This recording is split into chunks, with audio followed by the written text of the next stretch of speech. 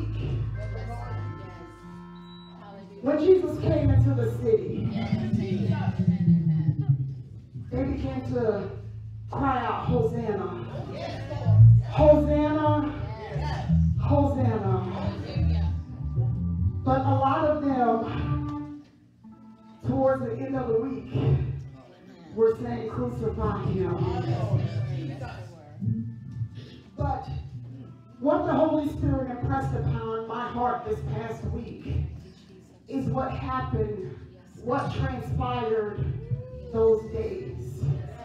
Because this was a pivotal point in the ministry of Jesus Christ. It was his final preparation of his disciples before he was no longer with them on this side. And so the Holy Spirit began to deal with me about the lessons that were taught. Every day was, there was a lesson. Now they do not give an account for Wednesday, but I know something had to happen. Yeah. Amen. Something did transpire on that Wednesday. But he began to divide up the lessons for me that he began to teach his disciples. And this morning, as I was getting ready, I heard the Holy Spirit say to me that, yes, the word is sweet than the honeycomb. But when it hits the belly, it is bitter. It's bitter because when we get a revelation down in our spirit, it brings correction. It brings rebuke.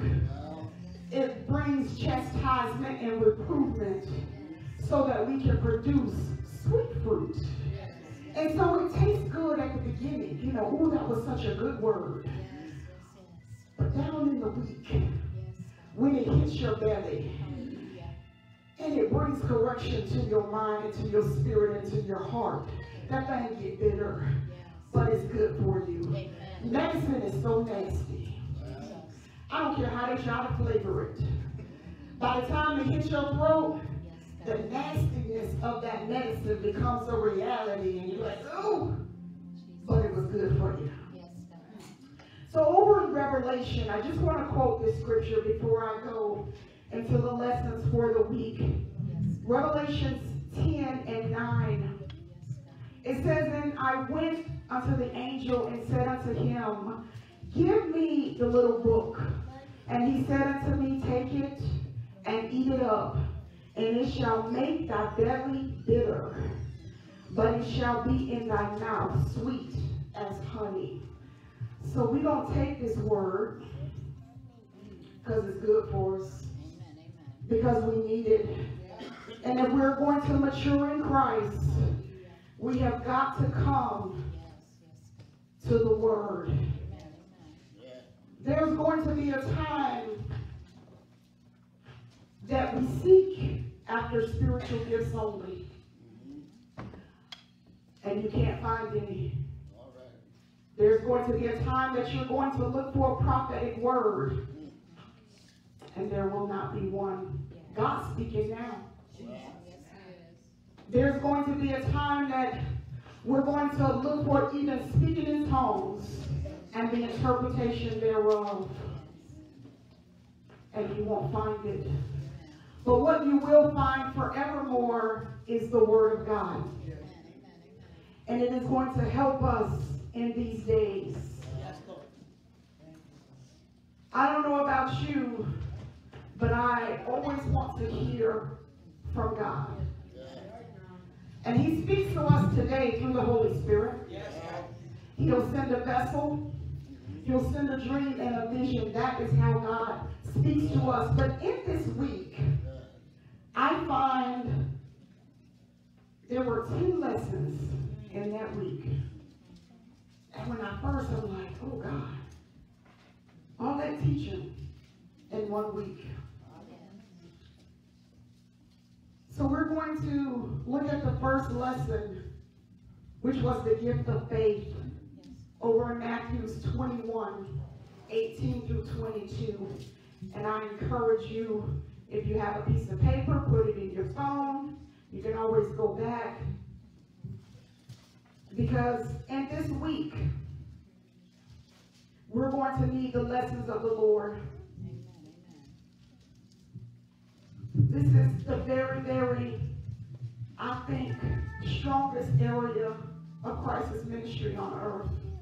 Because it was a time of preparation for what was to come and to prepare us also for the end times. The gift of faith, Matthew 21, 18 through 22. Now in the morning as he returned into the city, he hungered. And when he saw a fig tree in the way, he came to it and found nothing thereon, but leaves only, and said unto it, Let no fruit grow on thee henceforward forever. And presently the fig tree withered away. And when the disciples saw it, they marveled, saying, How soon is the fig tree withered away?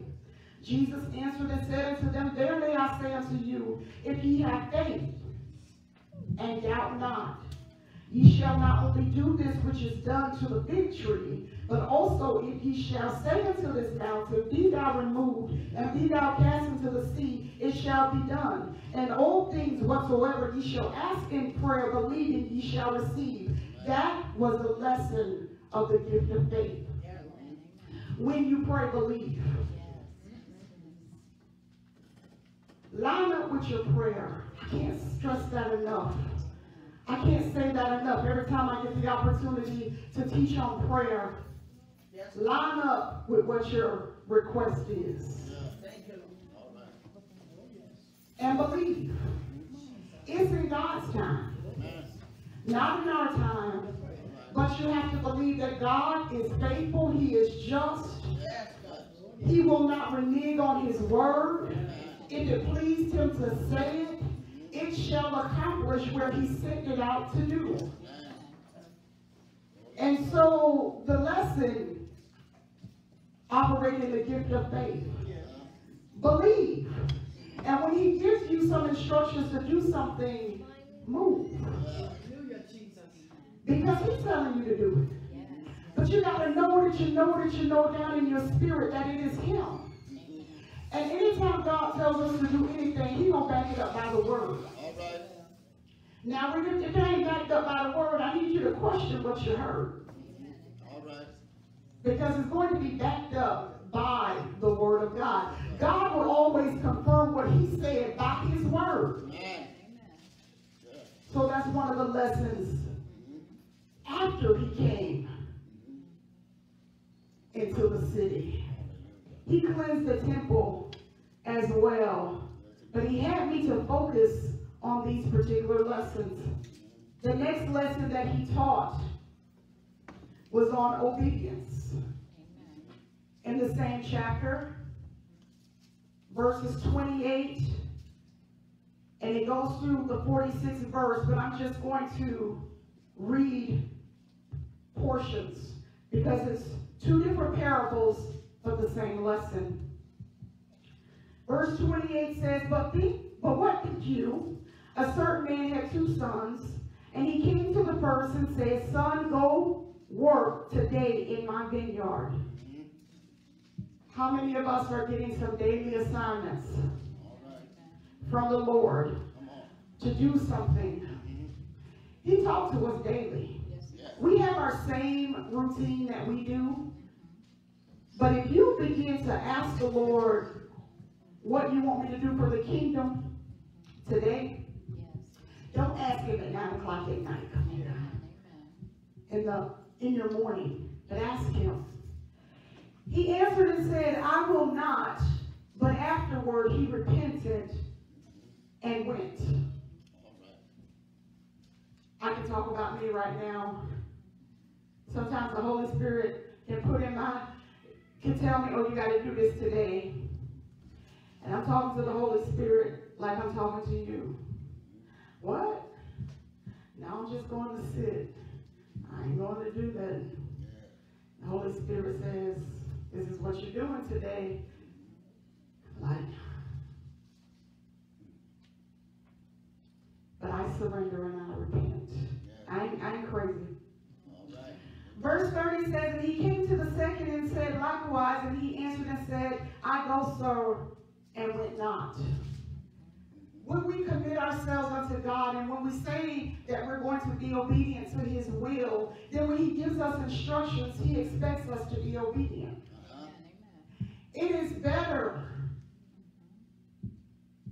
if you don't feel like it, ask the Holy Spirit to give you strength, a refreshing, a renewal. Do not commit yourself and say yes when you know you have no intention on doing a thing. Right. Now, if you need some help with doing it, God knows that too. Yeah. He's testing your obedience. And the enemy is watching your response. And so when we try to bind the hands of the enemy, you know why he's not moving? Because he already know you ain't obedient. You didn't do the other things of the will of God. So what you binding? You can't even be obedient. So he's not going to move. Because he already knows that if God tells you to go into prayer, if God says pick up the word, if he says to go here and go there, we're not going to go. Mm-hmm. And so the enemy really know you ain't got nothing to fight with. Mm. Because he said, well, God told him to do something. See, here's how it works. There's somebody over here that need deliverance. And God can tell us to go hug them, speak a word, bless them, and we won't do it. And so the enemy is over there next to the person who needs deliverance.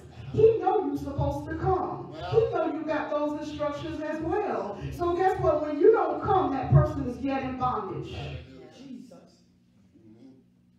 But that blood is still on your hands. You're held accountable. And so the enemy is over there saying, you ain't going to get delivered today. Breakthrough ain't coming today. Because that vessel that was supposed to come is disobedient. Verse 31 says, Whither of them Twan did the will of his father? They say unto him the first. Jesus said unto them, Verily I say unto you, that the publicans and the harlots go into the kingdom of God before you. For John came unto you in the way of righteousness, and ye believed him not. But the publicans and the harlots believed him, and ye, when ye had seen it, repented not afterward, that ye might believe him. Mm-hmm.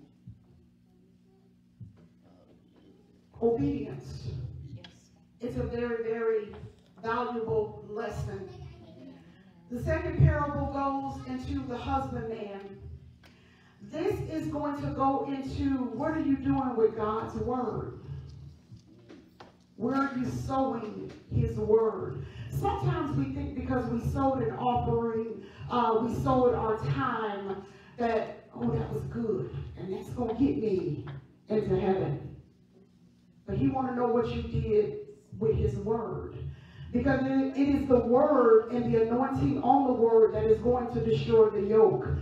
Favor carries more weight than money. And if our hearts are not in the right place, then the time that we give is wasted time because we're actually hindering in the spirit. Although we act like we folded some paper, you're really hindering in the spirit because in the inner man you're saying, I wish they hurry up, I got stuff to do. Well, if that was your agenda, you might as well should have stayed home. The lesson of obedience. So what am I doing with his word? Uh, I'm not supposed to take his word and keep it to myself and bury it. I'm supposed to take his word and after I get a revelation and after I apply it to my life and after I begin to walk therein, then I am supposed to sow it. Obedience. As we gone over to the 22nd chapter, See how these lessons roll in? And oftentimes we minister these words without realizing the importance of when they were taught during his last week. There were some things he could not give beforehand. This is that week. And so as Jesus came into the city, and they were saying, Hosanna. They were welcoming him. As he is here, are we really going to welcome him into our hearts? But when we hear others deny him, are we going to deny him too? Because if you're really going to walk with him, you just can't deny him that quickly. If you're really going to see him as your Lord and Savior, you just can't break away from him so easily. And so my yes has to be more than just words that I say from my lips. The words of the song says, my soul says yes.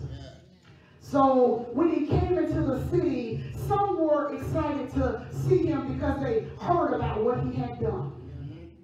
Some had got a revelation that this really is the Messiah.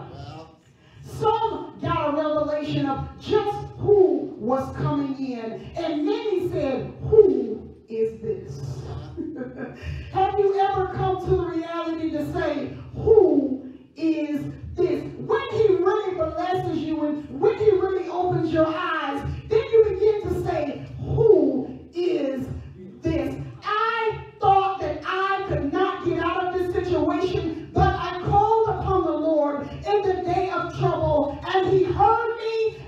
And he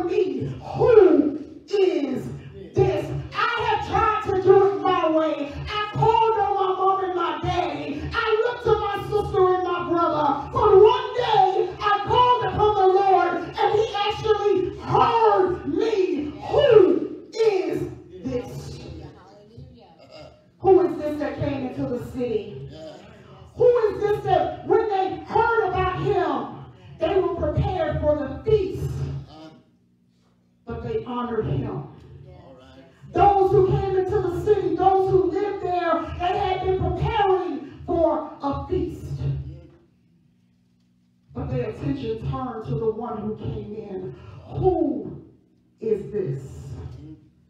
That can hear me when I don't say a word. Who can see the places that I have tucked away in my heart. He sees me. Who is this that has come into the city? Ask yourself that. Who is this who has renewed my mind? Who is this that gives me a revelation? Who is this that gives me peace in the midst of a storm? Who is this who is healing my body, rattled with pain? Who is this? Who is this who says in a still voice, I love you? Who is this that says, You are beautiful in my eyes, you are the apple of my eye, I love you and I die for you? Who? Who is this? Who is that man? Who is he? Who is he? Oh God, as we are over in Matthew's the 22nd chapter, verses 1 through 14 is the lesson about being spiritually dressed. It doesn't matter. He said, come as you are. And sometimes we take that out of context and said, uh, well, they said come as you are, so I ain't, you know. No, we're not supposed to look down on you, but he's talking about don't try to fix yourself up spiritually. You know, when I get right, I'm going to go to the Lord. When I put this drink down, when I put these cigarettes down, when I quit going to the club, when I quit homeworking, when I quit gossiping, when I keep doing what, then I'll go. He says, come as you are. Because he didn't come for those who did not need a position. He came for those who were broken. He came for those who needed to be set free. So come as you are. Keep coming. Keep coming. Keep coming. You might have went to the club last night. Come on to the house of the Lord today. Get on up and come because the day that you hear his voice, The day might be your day. So if you skip, because the enemy might say, well, you know you went to the club last night and, and you know you ought to be shamed. Guess what? He came for my shame. He came for all of that. He came to cleanse me and to clean me. So he came for that. He came for my imperfections. He came for my lack of knowledge. He came for all of that. He came for my blinded eyes. He came for my deaf ears. He came for my hardened heart. He came for all of that. So come on anyway. Come on. On. Oh, my skirt a little tight. Come on anyway. Oh, come on anyway. I, I, come on, come on anyway. Come on anyway. Come on anyway. Just come on. Come on in the way because he came into the city. So come on anyway. He'll meet your need when you get there. Come on anyway. I don't have enough to give in the offering. Come on anyway. He's after your heart. Come on. So come on anyway. Oh, you going to church? Yes. Because I got a need that no man can meet. Come on anyway. Come on.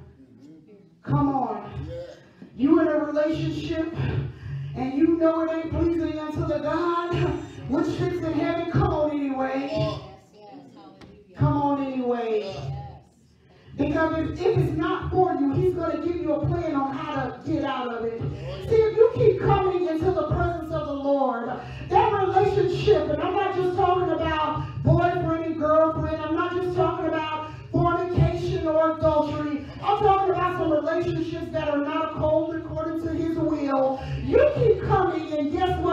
relationship that is not meant by God, it will begin to fall away on its own. You don't have to say, leave me. You don't have to go pack up your clothes or, or shut down your Facebook or change your phone number. Before you know it, they will leave you. So keep coming. Keep coming. Because he's in the city. And he came for you and I. Uh. The marriage dinner over in Matthew 22. It says, And Jesus answered and spake unto them again by the parable. See, he taught by parables. He made the carnal things relatable. There's no need to talk over your head. All right. And there's no need to talk under you. Jesus came to meet a need. So he met the people where they were. The kingdom of heaven is like unto a certain king which made a marriage for his son and sent forth his servants to call them that were bidden to the wedding, and they would not come. All right. And again he sent forth other servants, saying, Tell them which are bidden, Behold, I prepared my dinner, my oxen and my fatlings are killed, and all things are ready. Come into the marriage. Uh-huh. But they made light of it and went their ways, one to his farm, another to his merchandise. And the remnant took his servants and entreated them spitefully and slew them. Whenever God sends you on an assignment, I'm talking to those who are called to go out on their assignments. Know that enemy don't want them to hear that word. All right. Amen. But you will you be obedient. Amen. In season and out of season. Yeah. Do it in love give the word, and move on. But when the king heard thereof, he was wroth, and he sent forth his armies and destroyed those murderers and burnt up their city. Then said he to his servants, The wedding is ready. Guess what? We can't stop the things of God. Amen. Once again, he said, His word will not return unto him void. It will accomplish that which he sent it out to do. And so if we don't do it, it's still going to go forth. Amen. If they don't want to hear it, guess what? He'll send somebody else to tell them. God's word will not return unto him void. And so if he sends a word to say, get your house in order, uh-huh. yeah. he's going to keep sending it. Yeah. Thank you, Lord. Then said he to his servants, the wedding is ready. Mm-hmm. Today is ready. But they which were bidden were not worthy. Go ye therefore into the highways and, as many as ye shall find bid to the marriage. So those servants went out into the highways and gathered together all as many as they found, both bad and good, and the wedding was furnished with guests. And when the king came in to see the guests, he saw there a man which had not on a wedding garment. This is spiritual dress. And he said unto him, Friend, how camest thou in hither not having a wedding garment? And he was speechless. Then said the king to the servant, Bind him hand and foot, and take him away, and cast him into outer darkness. There shall be weeping and gnashing of teeth. For many are called, but few are chosen. Spiritual dress means that when you do, when listen, don't decide to go out on your own assignment. That's what that's saying. Amen. Don't decide to go on your own assignment. All right. Wait for the Holy Spirit. Yeah. Yeah. To instruct you. Mm. Because if you decide to go on your own assignment, well, I'm just going to call her and tell her, thus says the Lord. But the opportunity time might not have been that moment. And so your word won't be received. You get up and run over there and lay your hands on somebody if you want to, and you're not spiritually dressed and consecrated, that demon will eat you alive. Yeah. Yeah. Lay your hands suddenly on no man. Be properly spiritually dressed. What is properly spiritually dressed? Being in the whole armor of God. And wait on your calling. We're still in chapter 22, over in 34 through 46, and I'm not going to read all of that, but this is another lesson, the greatest commandment. See all these lessons and so sometimes we look at that last week as doom. But every day God is yet teaching. He's yet teaching us. Every day. Can you imagine that he knew he came into the city and it was going to be his last week on earth. And he did not renege on teaching. What does that say to us? is if we're really going to be followers after Christ, if we're really going to follow his example, that is saying, guess what? Come hell or high water, when he gives me a word, I got to give the word. It has nothing to do with me.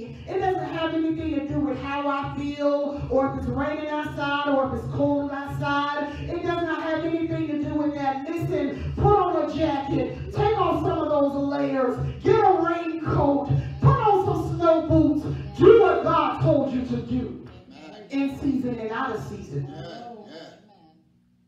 Ain't nobody gonna be there. You, the Father, Son, and the Holy Spirit is there. He says, speak to one as you're speaking to a thousand. Yeah. What? If you don't, what you trying to say? You ain't nobody? Ain't nobody gonna be there. Well, who are you? Be a vessel unto the Lord. Hallelujah. Amen. Spiritually dressed. You ain't got nothing to do with me. And every day you're not going to feel so highly anointed. Uh-uh. That flesh don't, I don't feel like it. Oh, but Holy Spirit, revive me, renew me. God, what you want to say to your people? Because personally, I don't have anything to say. But God has plenty to say. Oh, the greatest commandment. It says, But when the Pharisees had heard that he had put the Sadducees to silence, they were gathered together. Then one of them, which was a lawyer, asked him a question, tempting him, and saying, Master, which is the greatest commandment in the law? Now, first of all, stop playing with Jesus. Stop playing with the Holy Spirit. You sure you want me to do that? The enemy ain't going to tell you to go and love somebody. Tell them, or oh, give them no scripture. I heard the Holy Spirit say, text them this scripture, but I ain't, uh-uh. They don't want to hear no word. That might be the devil. The devil ain't going to tell you to send nobody no word.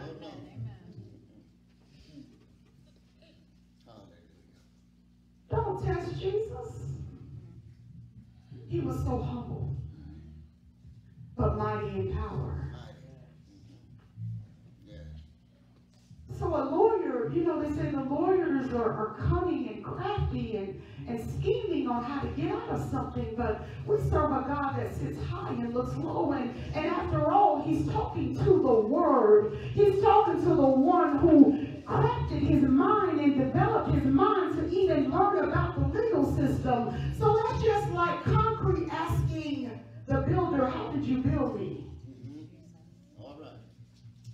You sure what you put in me gonna work? I built you. Hallelujah. Jesus said unto him, Thou shalt love the Lord thy God with all thy heart, and with all thy soul, and with all thy mind. This is the first and great commandment. And the second is like unto it, Thou shalt love the Lord thy God as thyself. On these two commandments hang all the law and the prophets. Because what Moses taught routed us back to God. The prophet said, Thus says who? The Lord my God. It all goes back to God. Now, the next lesson, I found this intriguing. Over Matthew 23, 1 through 35.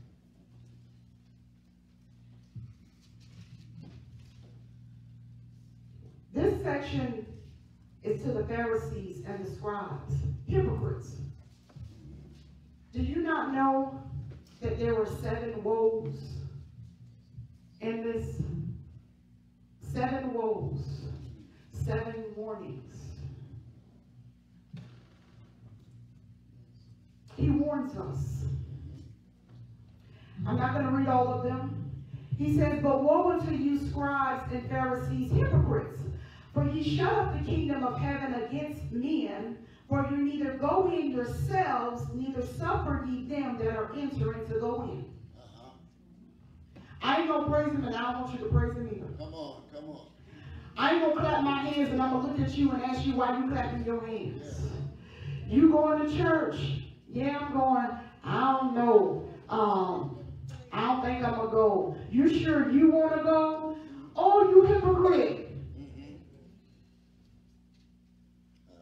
And if they fight you and say, I'm going anyway, you had a nerve to say, pray for me?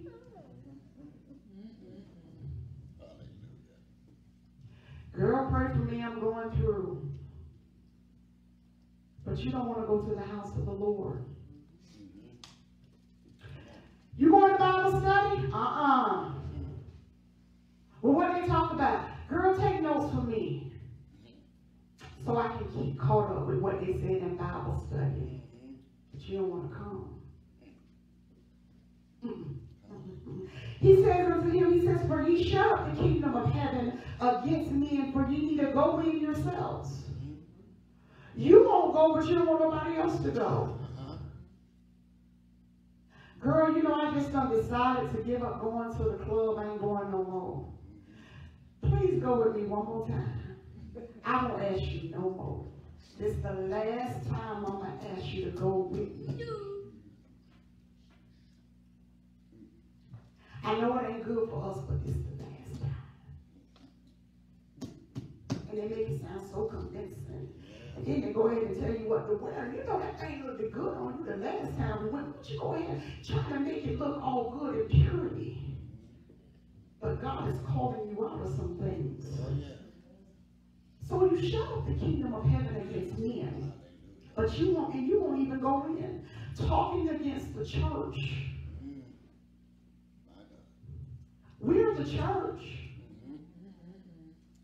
Not this structured building. This is called the sanctuary. But we're the church. We're the temple.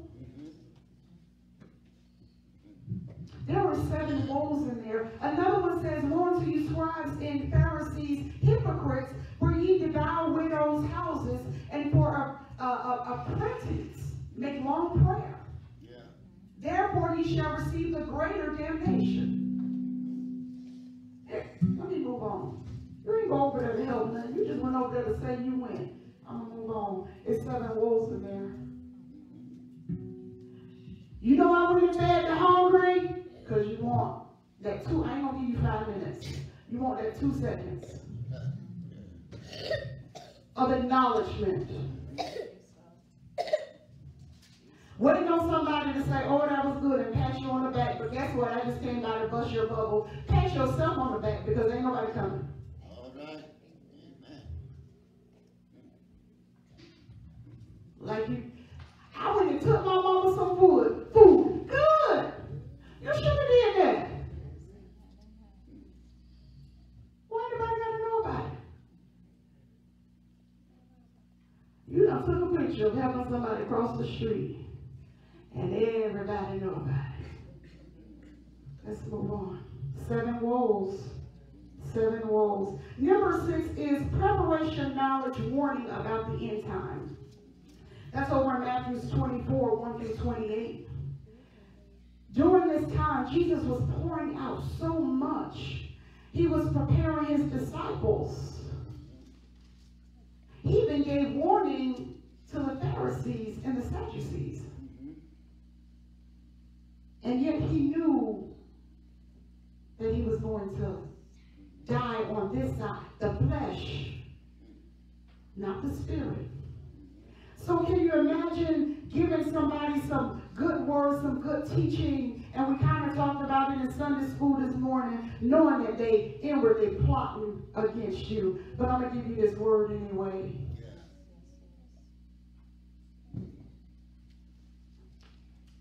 It says, And Jesus went out and departed from the temple, and his disciples came to him for to show him the buildings of the temple. And Jesus said unto them, See ye not all these things? Verily I say unto you, there shall not be left here one stone upon another that shall not be thrown down. And as he sat upon the Mount of Olives, the disciples came unto him privately, saying, Tell us, when shall these things be, and what shall be the sign of thy coming and of the end of the world? And Jesus answered and said unto them, Take heed that no man deceive you. For many shall come in my name, saying, I am Christ, and shall deceive many. And ye shall hear of wars and rumors of wars. See that ye be not troubled, for all these things must come to pass, but the end is not yet. For nation shall rise against nation, and kingdom against kingdom, and there shall be famines and pestilences and earthquakes in divers places. All these things are the beginning of sorrows. Then shall they deliver you up to the afflicted, and shall kill you, and ye shall be hated of all nations for my name's sake. Mm-hmm. And so, when we hear about individuals, and it's been in history, I haven't heard it in a while, coming to say Jesus is going to return on this date, this time. No one knows but the Father. He even got go release that to Jesus. Jesus said, I don't even know when he gonna tell me to return. So don't be deceived. I think a couple of years ago, I saw somebody, I laughed so hard, uh, they were selling tickets to heaven. And they actually sold some tickets. They did. Don't let men deceive you. This is why we encourage you, pick up the Word of God for yourself. Read it. Read a portion at a time. Ask the Holy Spirit to give you a revelation of what you are reading. Don't try to take in a whole bunch of word. Read a little bit until your appetite expands, until you can digest more. But for the time being, listen, if you got to stay on John 3.16 for six months, stay there until you get a revelation. Until you get an understanding until you feel the Holy Spirit prompting you to go and read verse 17. But if you got to open up your Bible and stare at it and go sit back down, come back to it and read that same scripture. Listen, I don't care who's telling you you need to read more, you need to do more. You stay where your appetite can handle. Come on. Don't let nobody force you to digest something you can't handle yet. Amen. Because it'll turn your stomach. And then you won't read it all. Don't be deceived. Don't allow somebody to come and tell you what a model Christian should be. Measure yourself against what God says. If you are one that operates in one of the ministry gifts, yes, we have examples. Yes, we can admire the anointing, but it is the Holy Spirit that gives us. How we're supposed to walk. Because it is His anointing that releases in us to operate in that anointing. You mess around and go ahead and copy somebody if you want to, and no demon in hell is going to move. No chain is going to be broken. No blinded eye will be opened. Why? Because that is not your anointing. You didn't work for that anointing. You didn't labor for that anointing. You didn't get in the word for that anointing. So you can't walk in that anointing. Don't let man deceive you. Uh-uh. Don't let him deceive you. Uh-uh. Get in the word. You got to know the word for yourself. And if you have some questions, listen, you might not want to raise your hand and ask questions. Write them down. Pass it over. That's between you and the person you passed it over. And pass it to some, listen, if they ain't in the word either, don't be sending your questions over there.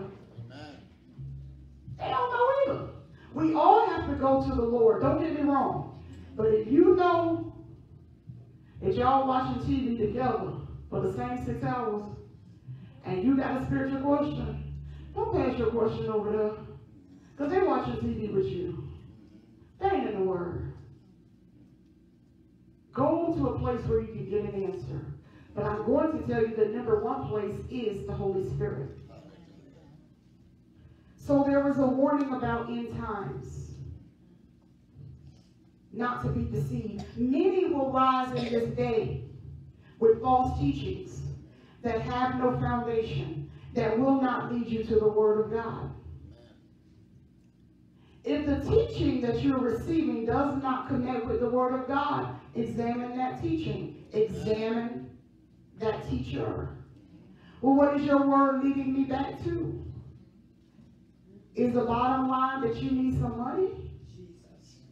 What about my soul being fed? What about me being delivered, healed, and set free? What about my children coming out of some mess? What is it leading to? Because if it's for your building fund, I'm going to tell you to go to work. If it's to help you get to Africa, if that's God's vision, He gonna provide the provision. He got somebody already set up who's gonna pour into that particular vision. But if you only want me to come and hear the word, and, and that's the bottom line to get some money, and then when you see I don't give no money, then you no longer invite me, then that tells me your motive. What about my soul? All right. So let us pay attention in these times. What it is that we are connected to. Is it leading me that I have a secure place in that last day? Because he says in his word that even some of the very elect gonna get fooled because their eyes are in the wrong place. The seventh lesson is found over in John 14, 15 through 26. This particular lesson was about the preparation knowledge of the coming of the Holy Spirit. In order for the Holy Spirit to be released, Christ had to return back to heaven. And so this week, as, as I was studying this, I have markers in my Bible in every book that I have on this week. I'm going from Matthew, Luke, John, Mark, the books, all about this week. God, what did you teach this week? And each book gives their own account. John talks about the preparation knowledge of the Holy Spirit, of the coming of the Holy Spirit. And it reads as follows At that 15th verse, it says, If you love me, keep my commandments, and I will pray the Father, and he shall give you another comforter, that he may abide with you forever. Even the Spirit of truth, whom the world cannot receive, because it sees him not, neither knoweth him, but ye know him, for he dwelleth with you, and shall be in you. He was preparing them for greater. Yeah. I gotta go. But before I go, I'm gonna prepare you for greater. I'm not gonna leave you wanting. I'm not gonna leave you wondering, what do I do next? Before I go, and I know it's almost time for me to go, I'm gonna prepare you for greater. Jesus came into the city. He came with a purpose. Oh, he came to give up his life, but he came to prepare those he loved. I gotta go. But before I go, I want you properly dressed. I want you to know what's coming. I want you to see those wolves that are coming in sheep clothing. I want you to know the difference between a lie and the truth. I want you to know that I am sending from the Father the Holy Spirit. And guess what? That's that greater because he's coming with some gifts. He's coming with some spiritual gifts. He's coming with the fruit of the Spirit. He's coming with the ministry gifts. He's coming for greater. So I gotta go. I know you don't understand when I say I gotta go. But I gotta go and, and, and I gotta go because it's gonna benefit you. I gotta go. Because I, I need to go into the next area of ministry. That was his ascension. To go and sit on the right hand of the Father. From which he shall come to judge the quick and the dead. He had to go. He didn't come on earth to stay. You know one thing about the word, the word is powerful and it is action. The word comes to do some stuff. A word is not released just to stay stagnant. A word comes to move some stuff. A word is released to give a healing. A word is given, it is to permeate the minds.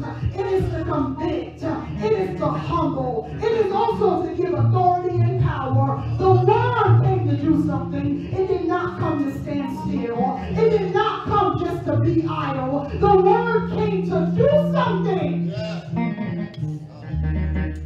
And it didn't come to stay. Faith come by hearing and hearing come by the word of God. Faith came to do something. The word came to do something. It did not come to stay and remain. And so when God tells you to do something, that is known as the word. Don't stay on the word. Begin to get up and move in the word. Because the word gotta go and do some stuff. The word gotta go and break up some ground. There is anointing on the word that gotta loose some chains. There is something on that word that's going to deliver me, that is going to set me free. There is something on the word. Don't let the word come and die. The word came to live, but has an appointed time of life on this side.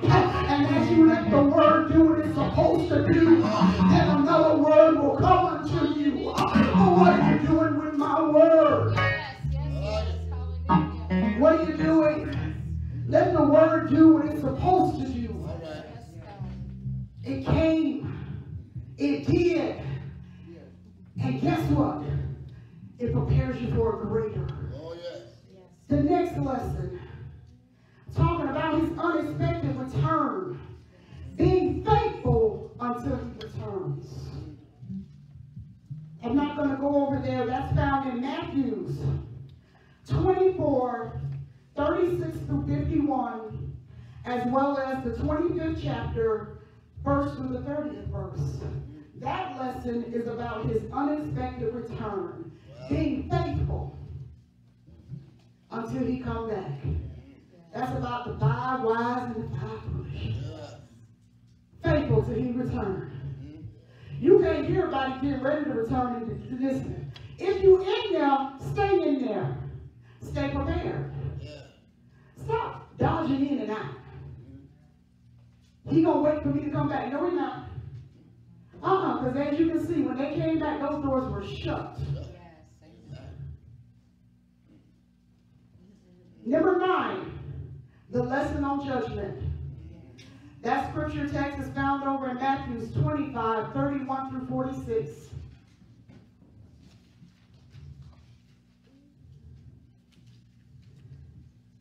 And my last lesson, I will go to this one because this is all where we need to be. The lesson on humility.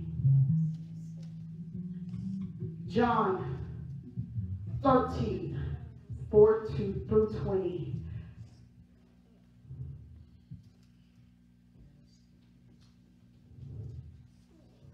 There's something that I want to read out of this that when we consider our part in Jesus, what he came to do to cleanse us. And if we will not allow him to cleanse us, then we have no part with him. Verse 7, well, let, let me back up.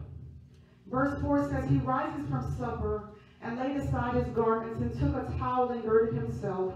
After that, he poured water into a basin and began to wash his disciples' feet and to wipe them with the towel wherewith he was girded. Then coming to he to Simon Peter, and Peter said unto him, Lord, do as thou wash my feet.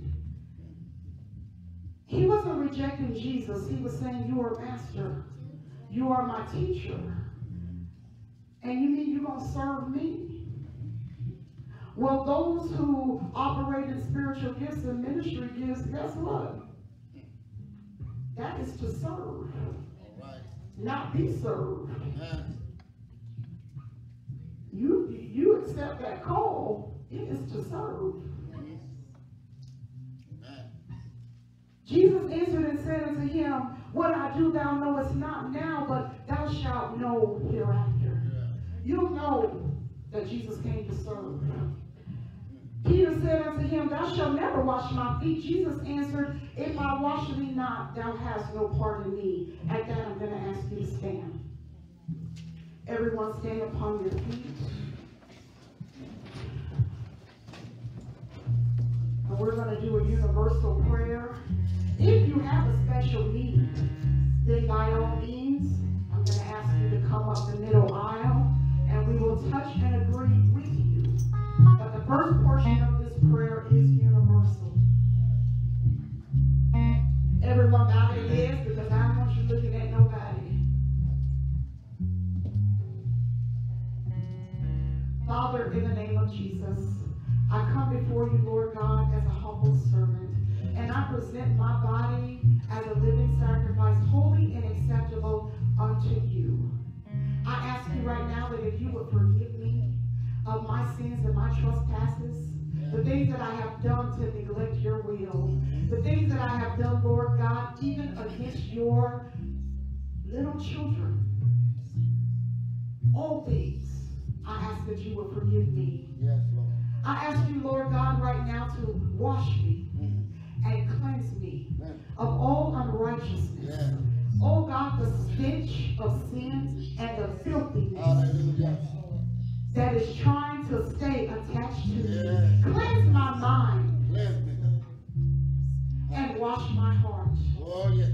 Purify even my words. Thank you. Oh God, Oh, the direction of my feet. Even where mm-hmm. I place my hands. Wash me, Lord, in your blood, that I may be clean. Oh God, wash us that we may have part in you. Hallelujah. I believe in my heart and I confess with my mouth Yes, that you are Lord. You are. You are my Savior. Yes, yes. God is my Father and Holy Spirit is my God. Yes. I beseech you therefore, brethren, by the mercies of God, Yes, present your bodies as a living sacrifice, Uh-huh. holy and acceptable unto him, which is your reasonable service. Yes. And be ye transformed Oh, by the renewal of your mind, taking in the word of God. I pray this prayer over this your people. Hallelujah. I ask of the Father in the name of of Jesus Christ. Yes. Amen. Amen. Amen. Praise the Lord. Now, is there anybody who had a special need of prayer? Praise the Lord. I'm going to ask for assistance. Praise the Lord. From the pulpit.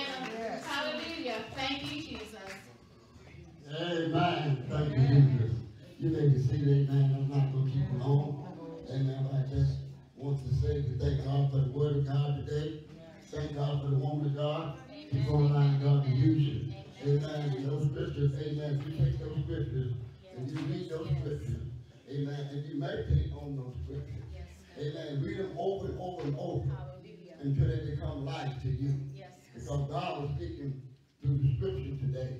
Amen. amen. Dream I had. Amen. Amen. And so much what you were praying, this dream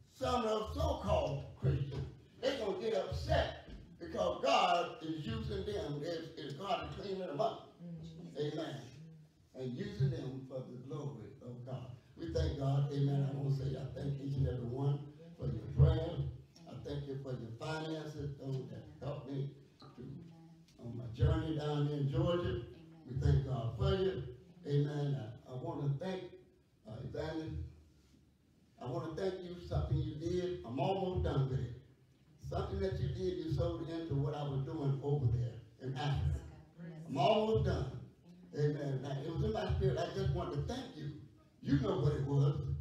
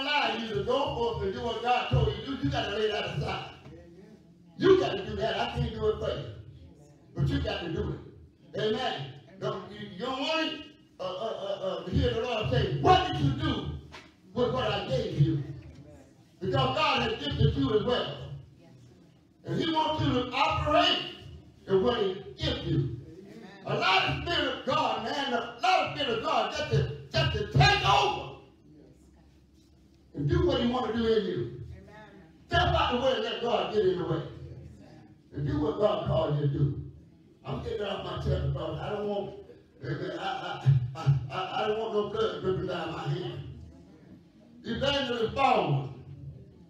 Huh? I release you. Huh? Now you gotta release yourself. Whatever it is that will allow you to go forth in what God has given you, huh? You gotta lay it aside. You gotta get that God has already fixed it. Huh? So I'm saying that to you. Y'all are God's sheep. I'm not over you. I'm not Lord. I can't make you do anything. But my job is to encourage you, teach you, and to instruct you, and to nurture you in the Word of God. You've got to obey God. If you want to have that real peace, that you know that is there, and you may have felt it for a long time, you need to get activated. Like a credit card. You don't never activate it. It ain't no good to be activate it. I went to Walmart not, not too long ago, and I activated mine. So it's good now. I can use it. So what I'm saying to you, you got to activate it. If you really want peace, it's that peace of God that passes all understanding. You got to be obedient to God. You holding back. A lot of people need, a lot of people need God's ministry.